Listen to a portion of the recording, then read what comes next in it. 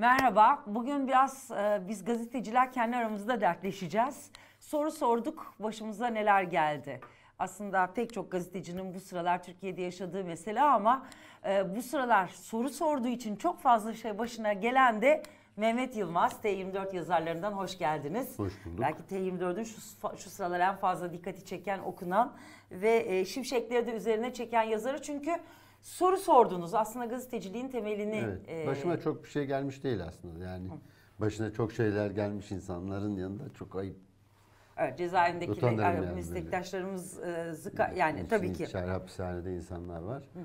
Ee, ama işte uğraşmak için davayla karşı karşıyayız.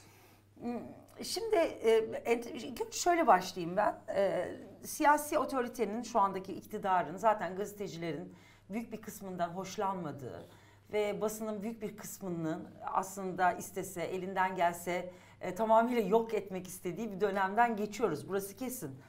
E, kontrollü bir medya. O kontrollü medyanın içinde birazcık böyle farklı renkler olsun ama hepsi aslında kendi kontrolümüz altında olsun gibi bir durum var. E, dolayısıyla hani iktidardan böyle bir dava onu sonra konuşuruz ama beni esas hayret ettiren meslektaşlarımızın sizin bu durumuna olan ilgisizliği ya da tavırsızlığı. Bu sizi hayrete düşürmedi mi? E, düşürmedi çünkü şundan dolayı e, medyanın büyük bölümü şimdi hükümetin kontrolü altında. Ve onların e, hükümetten kaynaklanan herhangi bir şeyi eleştirmeleri, ona karşı çıkmaları söz konusu değil. Geri kalan medyada da henüz bir şey olmadı ama arkadaşların vakti olmamıştır diye düşünüyorum. Öyle mi yoksa biz bu işin için üstüne gitmeyelim dur bu işten biz de yanarız diyen bir çünkü biliyoruz ki yani içinde işte çok kolay bizleri tehdit eden işte yaşayan ölüsünüz, kovulacaksınız, tutuklanacaksınız, başınıza şunlar gelecek diye tehdit eden ve bundan beslenen ve bundan da kendine bir yer edinen hatta diyebilirim ki koşu köşelerini, televizyon programlarını tamamıyla bunun üzerine oturtturmuş Evet. isimler var. Onlardan pek bir şey gelmedi. Hayret etmiyor musunuz? Hayret etmiyorum. Ona da şundan dolayı hayret etmiyorum. Çünkü onlar e, işte bizim ana akım medya diye tabir ettiğimiz eski gazetelerimizden, televizyonlarımızdan kovulduğumuzdan beri e, amaçlarına ulaştıklarını, bizim ses, sesimizi kestiklerini zannediyorlar. E, ama yakında görecekler kesmediklerini, kesemediklerini, Ha, ben de onu güçlerinin buna yetmediğini. Sizce kesebildiler mi? Kesemediler. Onu yani boşuna Yani eskisinden eskiden ne kadar okuyucuya ulaşıyorsak şu anda da o kadar okuyucuya ulaşmaya devam ediyoruz. İşte- ne kadar izleyicimiz varsa o kadar izleyicimiz izleyicimiz var. Bu öz, şimdi ben de o yüzden açarken hani e, T24'ün en fazla iz- e, okunan yazarlarından biri dedim. Hani bunu boş iltifat birbirimizi hoş iltifatlarla ağırlayalım için söylemedim. Çünkü Mehmet Yılmaz Hürriyet'te ne kadar ilgi çekiyorduysa, ne kadar okunuyorduysa bugün dijital medya olan T24'te aynı hatta belki daha fazlasıyla Biraz daha fazla olduğunu hissediyorum gelen okuyucu tepkilerinden. Peki yani e, dolayısıyla belki bu noktada şunu da söylememiz gerekiyor. Ee, ne kadar iteklerlerse ya da yok etmeye çalışırlarsa, yok sayarlarsa aslında kar topu gibi daha büyüyerek gelen, kuvvetlenen bir alternatif medya mı var? E, Yani Türk basın tarihinde, geleneğimizde böyle bir şey var zaten. İşte o eski Aziz Nesinler'in mizah dergilerinin kapatılması, Marco Paşa'nın 40 kılık değiştirip yayınla devam etmesi, e, sürekli bir ceza tehdidi altında olunmasına rağmen gazetecilik faaliyetinden vazgeçilmemesi, hapse girmeyi insanların göze almaları, girmeleri, Böyle bir geleneğimiz var bizim mesleğin yani Türkiye'de gazetecilik mesleğini yapanların. Onu, onu devam ediyoruz diye düşünüyorum. Şimdi Geleneğin devamı. geleneğin devamı. Böyle böyle gelmiş böyle, gider. Böyle, böyle gidecek bir süre daha o süre daha kesin gidecek. Peki medya bölümünü sonra biraz daha konuşuruz ama şimdi siz aslında eski başbakan sonrasında İstanbul Büyükşehir Belediye Başkanlığı aday olan o arada da kısa bir dönem meclis başkanlığı yapan e, pek çok e, e, görevi üstlenmiş olan Binali Yıldırım'a çocuklarının e, maddi ve mali başarısının nasıl olduğunu sordunuz Evet. aslında. Nereden parayı bu parayı nereden buldun diye bir Evet. devlet de soruyor kimi zaman iş 1 adamlarına. milyar dolara yakın bir paradan söz ediyoruz. Servetten, paradan, nakit paradan değil de yani toplasak bu, bu kadar olabilecek bir servet söz konusu. Ve bu aile e, dar gelirli bir memur ailesi esasen. E, eşi hanımefendi öğretmen. Üç çocuk büyütülmüş. Yani şimdi Türkiye'de böyle bir evi gözümüzün önüne getirebiliriz kolayca. Bir kirada ya da işte kıt kanaat borçla alınmış bir evde oturan üç çocuk, bir anne bir baba. Baba memur, anne memur. Üç çocuk okuyor. Ee, Bir sıkıntılı bir geçim Bütçe sıkıntısı. belli, giden sıkıntılı belli, gelen bütçe. belli. Bu Türkiye'nin bir gerçeği. Hepimizin hep evlerinde de zamanla yaşanmış şeyler. Şimdi böyle bir ailedeki çocukların babalarının Ulaştırma Bakanı olmasıyla beraber böyle ani bir zihin açıklığına kavuşup gemicilik, gemi taşımacılığı işini keşfetmeleri ilginç. Neden ilginç? Bir defa baba Ulaştırma Bakanı olunca başlıyor bütün bu işler. Yapılan iş ulaştırma işiyle doğrudan ilgili. Tamam baba gemi mühendisliği okumuş, üniversitede bununla ilgili alanlarda çalışmış, dershanede çalışmış, işte efendim belediyede İDO'da çalışmış, İDO'nun yöneticiliğini yapmış. Denizcilik sektörüne aşina bir insan olsa bile e, bu o kadar kolay bir şey değil. Şimdi bugün mesela baktım geçenlerde e, bir satılık gemi vardı şeyde Hollanda'da. E, bir Koster e, 1 milyon 400 bin dolara satılıyor. Hani Binali Bey'in çocukları gibi bir gemiyle küçük bir gemi, gemicik diyebileceğimiz başbakanın oğlunun gemisi büyüklüğünde bir şey. Öyle bir gemiyle başlasak 1 milyon 400 bin dolara ihtiyacımız var peşin bir defa. E, onu krediyle almamız lazım. Çünkü öyle bir ailede 1 milyon 400 bin dolar birikmez. Bende de yok. Sende de yok. Hiçbirimizde yok. Gidip kredi almamız lazım. Arkamızda herhangi birisi olmadan, gösterecek teminat olmadan bize bu krediyi verecek bir banka var mı? Yok. Yok. Ee, hayırsever bir iş adamı, arkadaşımız, dostumuz, zengin bir sürü insan tanıyoruz. Hadi sen de bu hayatı kurtar. Al şu 1 milyon 400 bin doları bana taksit taksit ödersin diyecek birisi olabilir mi? O da yok. Olamaz. Yani işin gerçeğin tabiatına aykırı bu, doğasına aykırı. Onun için bunların açıklanmaya muhtaç olduğunu düşünüyorum. Ve kamuoyu önünde işte başbakanlık yapmış, ulaştırma bakanlığı yapmış, meclis başkanlığı yapmış, iki kere büyükşehir belediye başkanı adayı olmuş, kaybetmiş, tanınmış bir siyasetçi var karşımızda. Ve üstelik o siyasetçi son seçimden önce çıktığı televizyon açık oturumda da dedi ki benim her şeyim şeffaf. Ne merak ediyorsanız sorun biz açıklarız. Ben de o fırsatı kendisine veriyorum. Buyursun açıklasın. Sayfalarca açıklayabilir. Bizim yer sorunumuz yok. T24'te. Gelip konuşabilir Gelip arzu burada ediyorsa. konuşabilir arzu ediyorsa. Peki şimdi e, eminim yani e, biz tabii gazeteciler olarak demiyoruz elbette ama sokakta eminim bir iki kişiye sor, yani sorsanız bir kısım insan çok güzel yapıyor Mehmet Yılmaz diyecektir ama bazı şunu diyenler de çıkacaktır. Yani neye gereği var canım bugüne kadar hangi siyasetçi açıklamış ki? Sanki öbürleri yapmıyorlar mı? Ya da işte e, ne var yani bugün ne kadar zaten hep böyleydi. Ben bir Öyle şey mi? yapıldığını iddia ediyor değilim. Yani ben sadece bunun nasıl olduğunu soruyorum. Yani sen şunu yaptın da bunu yaptın da böyle bir iddia içinde değilim. Çünkü bu bu tür şeylere ulaşma imkanlarımız Türkiye'de kısıtlı, sınırlı. Ama e, şimdi bir e, kamu yöneticisi ve sonra da milletvekili, bakan, başbakan, meclis başkanı, e, belediye meclisi, belediye başkanı adayı bir siyasetçi söz konusuysa bunun servet beyannamesini her sene yenilemesi gerekiyor. Her görev değiştiğinde yenilemesi gerekiyor. Bunların yan yana konulması bile bize bu gelişim sürecini verebilir diye düşünüyorum. Sizce neden çekiniyor da dava açma yoluna gidiyor? Neden çekiniyor bilmiyorum. Türkiye'de aslında çekinmesi için çok da bir sebep yok. Normal olarak e,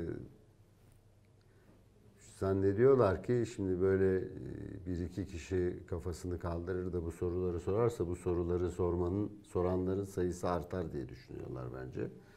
Onun için de ilk soran bir iki kişiyi ibret alem için cezalandırmak gerekir ki diğerleri sormasın. O meşhur hikayedir.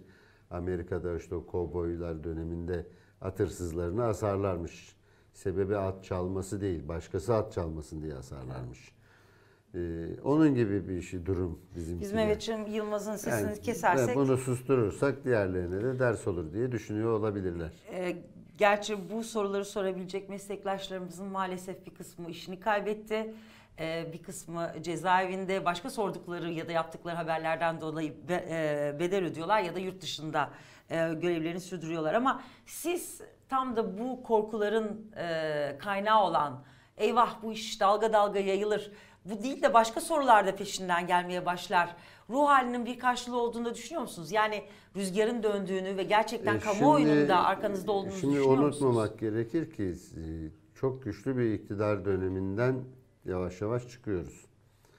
Yani bu yüzde 40 laflarının konuşulmaya başlanması durduk yerde değil. E, tamam kuşkusuz ki Recep Tayyip Erdoğan talimat vermiş değildir belki yüzde 40'a indirelim diye. Ama ona çok yakın e, zamanında da bakanlık yapmış birisinden bu geliyorsa bu parti içinde konuşulmuş, tartışılmış, karara bağlanmıştır diyemem. Ama en azından tartışılmış. Kendi aralarında yahu durum kötüye gidiyor. Reis %50'yi bu sefer bulamayabilir ne yapacağız endişesi bildirmiş diye düşünüyorum. Şimdi bu mutlak iktidarın yavaş yavaş güç kaybettiğini ve günün birinde ki çok uzak bir gelecekte değil bana göre bu iktidar gücünün ellerinden gideceğini görünce paniklemeleri son derece normal. Çünkü her bu tür iktidar değişmelerinde bir şeyler ortaya çıkar. Devlette bir defa şu gerçek ki hiçbir kağıt kaybolmaz, hiçbir belge kaybolmaz. Daha bu Osmanlı'dan beri gelen bir devlet geleneği. Yani kaç sene 700 yıllık bir devlet geleneğinin üzerinde oturuyor şu anda Türkiye Cumhuriyeti hükümeti. Ee, o orada hiçbir şey kaybolmaz. Hiçbir belge gizli kalmaz. Her şey bir yerde zamanını bekler.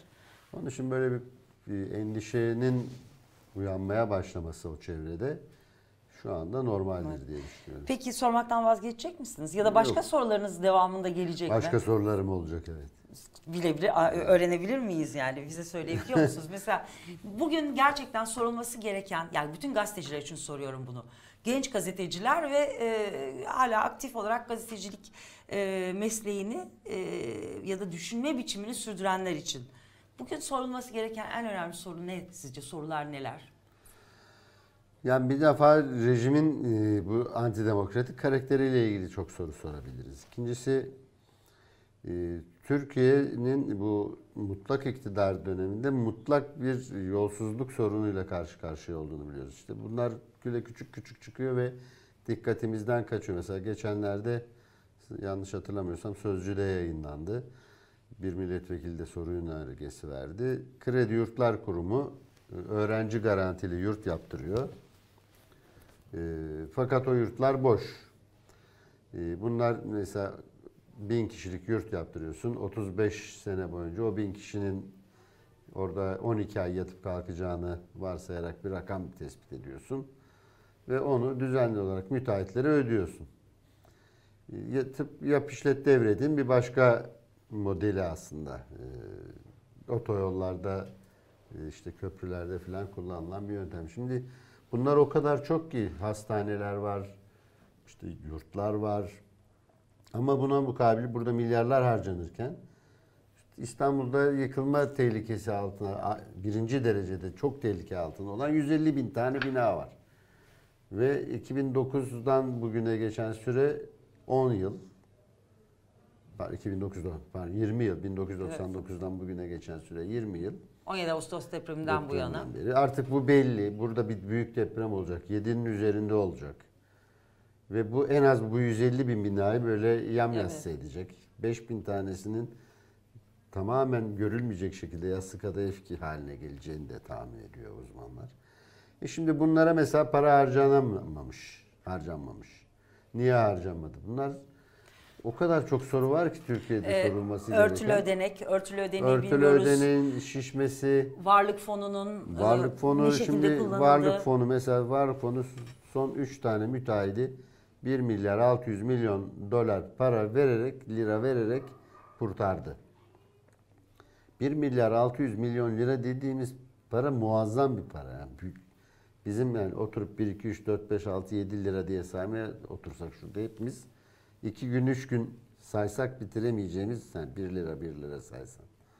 Şimdi böyle bunun hiçbir açıklaması yok. Yaptık oldu.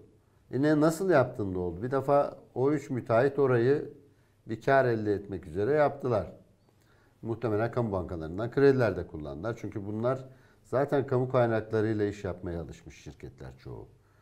E, o İstanbul Finans Merkezi'ni yapan 3 şirketin geçmişlerine bakarsan bir tanesi hariç Ağoğlu'nu bir kenara ayırırsan Ağoğlu daha çok özel işler yapmış. Ama diğer ikisi sadece kamuya çalışmış. Sadece kamu inşaatları yapmış. Yol yapmış, hastane yapmış bilmem ne. Bir de Irak'ta bazı işleri var. E şimdi bu, bu açıklanması gerekmez mi? Bu inşaatın değeri neydi? Bu inşaat bir defa her şeyden önce niye yarım kaldı? Bir tek nedenle yarım kalmış olabilir. Talip yok. Yani o yapılmış şeyleri satın alan insanlar yok. E şimdi sen kamu olarak bunu 1 milyar 600 milyon lira verip satın alırsan bir de bitireceksin bir o kadar da harcayıp. Çünkü aşağı yukarı %70'i bitmiş işlerin. Bir o kadar daha harcayacaksın. E kime satacaksın da paranı geri alacaksın? Tabii. Bu arada tabii ihaleye çıkılmadan yapılan onlarca, yüzlerce ihale var. Ee, başka işler, çok önemli işler dururken yapılan lüzumsuz harcamalar var sağa sola. Yani niye bu ülkede yüz küsür defa değişti ihale kanunu? İhale, e, aynen. Ya e, onu bırakın ben yani çok yakın mesela şimdi yeni e, havaalanına taşın. Geçen gün haberi vardı. E, ne kadar konuşuldu üstüne çok fazla konuşulmadı. Eski Atatürk Havalimanı'nı yıkmaya başlıyorlar. Ya ben çok iyi hatırlıyorum ki daha açılacağı güne kadar Atatürk Havalimanı'nda inşaat devam ediyordu. Evet. E, yeniden yapılandırma çalışması, yok sağlamlaştırma çalışması, yeni pist çalışması, yan pist çalışması, binaların ek binası. Şimdi o paralar oraya niye harcandı ve şimdi tekrardan niye yıkılıyor? Yıkıldığı zaman ne olacak? Şimdi Bu bile bence o, o paralar mesela kimin cebinden gitti? bizim cebimizden gitti. Yine bizim cebimizden de halen de gitmeye devam ediyor. Çünkü normal olarak şu anda yeni İstanbul Havaalanı'nın daha ulaşamadığı ama ulaşacağı kapasiteye gelmesi için yapılması gereken küçük bir yatırımdı şeye Atatürk Havalimanı'na. Ve o küçük yatırım yapmak ve şey yapmak yerine 1 milyar dolar o binanın değeri yıkılmakta olan havaalanının değeri inşaat olarak. 1 milyar dolarlık bir binayı çöpe attık. 3-4 milyar dolarlık bir ikinci bina yaptık. Aynen. Ve onların paralarını biz o yolcular orada uçsa da uçmasa da ödemeye devam edeceğiz o müteahhitlere. Aynı şekilde köprü, üçüncü köprüyü Ve bütün bunlar ve bütün otom- bunların hepsinin aynı müteahhitler olması da bir tesadüf olmamalı diye düşünüyorum.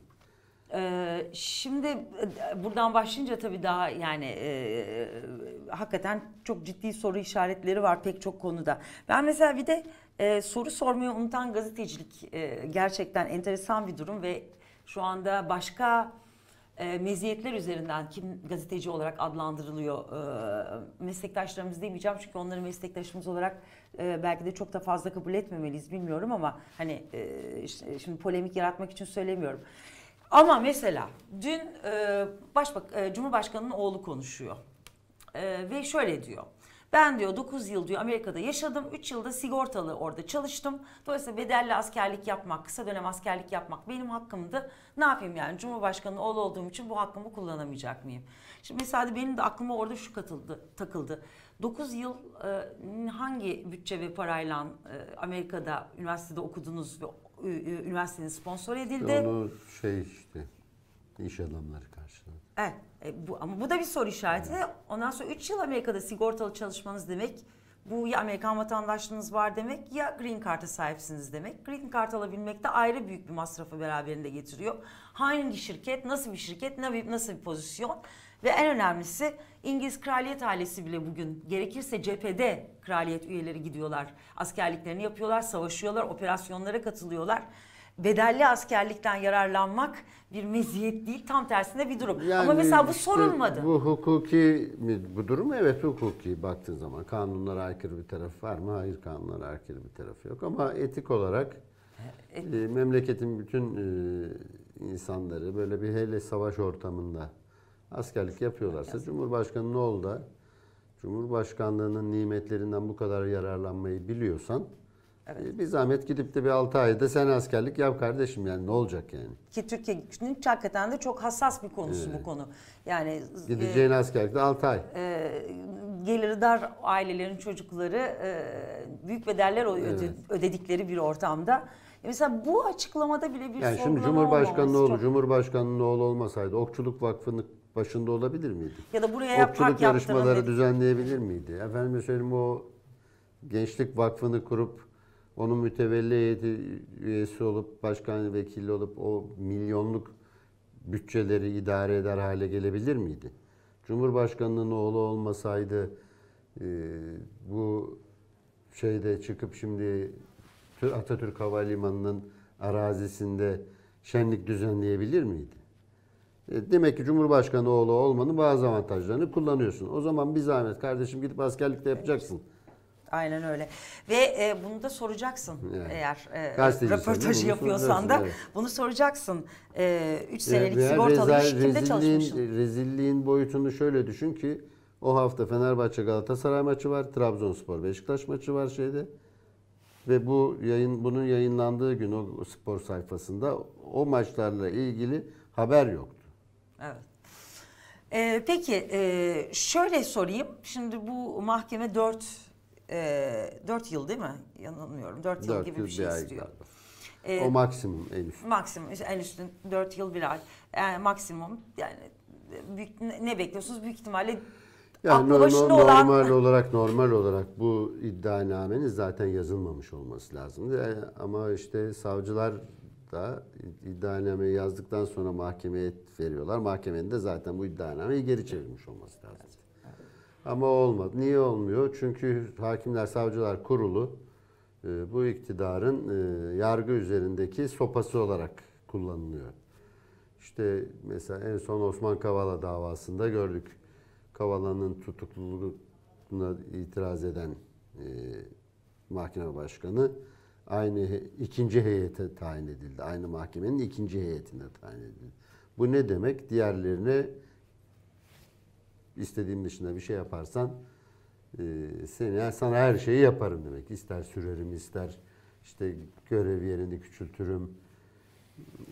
E, bunu da herkes, her savcı, her hakim min de bununla mücadele etmesini beklememiz gerekir ahlaken. Ama bir yandan da Türkiye'nin gerçekleri var işte zaten bizi hep bu üçüncü sınıf bir Orta Dev- Doğu devlet olmaya doğru iten e, Türkiye'nin gerçekleri diye meşrulaştırmaya çalıştığımız ama aslında ahlaken hiç de meşru olmayan bir durum. E, onlar da aman işte benden gitsin de ben davayı açayım benden gitsin. Hakim karar verecek, mahkeme mahkumiyet de verir. Ben karar vereyim benden gitsin Yargıtay uğraşsın. Yargıtay belki diyecek ki aman benden gitsin Anayasa Mahkemesi. Avrupa İnsan Hakları Mahkemesi'ne kadar yolu var nasıl olsa. Her biri başından atabilir karar verip hükümeti memnun etmek için. Şimdi e, bir kere bu herhalde sizin bu çünkü bu sorularda tek, bu arada ilk defa olmuyor. Mehmet Yılmaz daha önce de e, e, e, eski Cumhurbaşkanı Abdullah Gül'ün e, yurt dışından aldığı hediyeler konusunda bayağı bir soru Sadece sormuştu. Abdullah Gül değil. Orada tabii biraz şey oldu. Abdullah Gül'ün üzerine kaldı ama aynı hediyeleri Recep Tayyip Erdoğan da aldı. Recep Tayyip Başbakan olarak. Ondan öncekiler de aldılar. Aslında ta Ondan evveliyata doğru öncekiler- gitmek lazım ama son dönemde Ama iyice mesela de. Süleyman Demirel'in aldığı hediyelerin e, tek tek fotoğraflarının çekildiğini, bir defterde kaydedildiğini, muhafaza edildiğini ve sonra e, müzeye devredildiğini de biliyoruz. biliyoruz. Ama Aynı sözü Abdullah Gül de vermişti. Fakat müzede bunları görmedik. görmedik. Ondan sonra zaten başbakanlık ve diğer e, bakanlarla ilgili e, bu hediye alma verme işlerinde tamamen herhalde kamu nasıl kamunun bilgisinden uzaklaştı gitti diyelim. Pardon bu arada mikrofonumu bir düzelteyim. Şöyle bağlamak istiyorum. Sonuçta sizin bu e, e, sorularınızı Mehmet Yılmaz sorular sormuş. İşte e, eski başbakan e, Binali Yıldırım da ona kızmış, mahkeme açmış olarak da bakabiliriz. Aslında sizin bu sorular ve yazılılarla birlikte eski yani gerçekten gazetecinin önün, ölün, özünün tekrardan geriye dönmesi e, olarak da görebiliriz ve burada aslında genç meslektaşlarımıza şöyle bir sonuç çıkarmak kalıyor. Ya şu anda ne görüyorsanız ekranlarda ve gazetelerde yapılmaması gerekenler E Ve şu anda geçen gün şeyde mesela gördüm Hürriyet gerekiyor. gazetesinde bir işte şey işte yerli otomobil. Heh. Gördüğümüz fotoğrafta böyle bir bilgisayar arkasına dizilmiş 5 tane gazeteci. Nerede yerli otomobil? Ya bilgisayarın ekranında. Ne var? Belli değil. Ve buna mesela bunu sorunca da ya kardeşim sen gazeteci değil misin? Sen gördüğünü anlatsana. Şart değil tamam sana dediler ki fotoğrafı yayınlama. Fotoğraf ambargola. Bu anlaşılabilir bir şey. Gazetecilikte bu var. Kaynağın der ki hayır bu fotoğrafı yayınlayamazsın. Ama sen gördüysen ve sana bu gazetecisin diye gösterildiyse bunu tarif edebilirsin. Yani ne bileyim ön tarafı Porsche benziyor. Arka e, lambaları bana BMW'yi çağrıştırdı diye anlatmak bir şeyi elektrikli ya da bu araba elektrikli, hibrit, benzinli zor mu bu kadar yani? Gerçi haksızlık etmeyelim. O isimlerden bir tanesi tarif etti. Dört tane tekeri var dedi. Ne işte. Dalga geçer gibi dört tekeri bir direksiyonu var. dedi. Çok Yani. e, açıklayıcı. Korktun yani korktunuz mu diye sormayacağım. Tabii korkmadığınızı biliyorum da. E, durduracak mı? Engelleyecek mi? Yok sizi? canım bunlardan bir şey olmaz. Şimdi bu Fethullahçıların en azgın olduğu dönemde e, KPSS şeyini ben yazdım. Evet. Ve aşağı yukarı 7 sene boyunca da her gün sordum. Her pazartesi, her gün değildi. Her pazartesi sordum. Bunlar nasıl duydum? Milliyet Gazetesi'nde bu tam KPSS sorularının çalındığının iki gün sonra Milliyet Gazetesi'nde bir haber çıktı. Bir tane o soruları çalanlardan biri Isparta'da yakalanmış. Ee, ve savcılık ifadesini almış sonra bırakmış. Demek ki işte bir şeye geldi. Bir boşluklarına geldi. Bir tanesi adam da anlatıyor öğretmen. Ben, ben diyor işte cemaatçilerin evinde şey yaptım. Bana soruları verdiler. Başkalarına da verdiler. Kimseye söyleme dediler.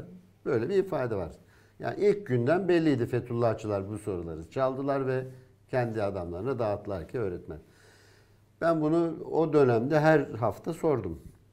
Ee, Bununla ilgili tabii çok ciddi başıma şeyler açmak istediler falan falan ama hiçbir şey olmadı işte ben hala hayattayım. Fethullahçılar yok.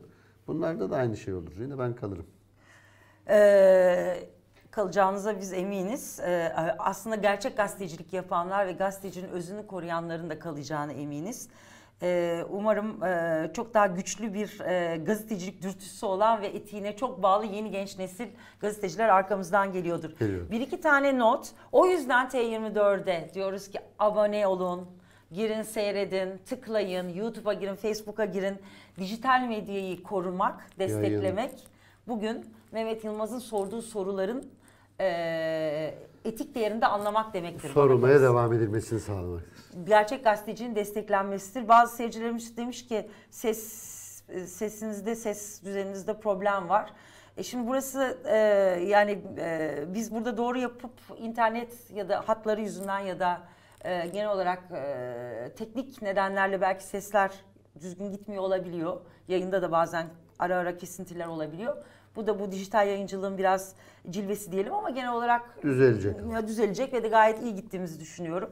Yaşasın dijital medya diyoruz bu arada. E, Mehmet Yılmaz çok teşekkür ederim. Bir manşet atmak isteseydiniz ne atardınız kendinizle ilgili olarak? Korkmadı. Kork? Korkmadı dedim. Korkmadı. Evet korkmadı ve korkmayacak. Peki çok teşekkür ediyorum. Mehmet Yılmaz'la birlikteydik. Ee, aynı sorular okumaya devam edeceğiz galiba ve soruların çeşitlenerek geleceğinin de sinyalini aldık. Tekrar görüşmek üzere.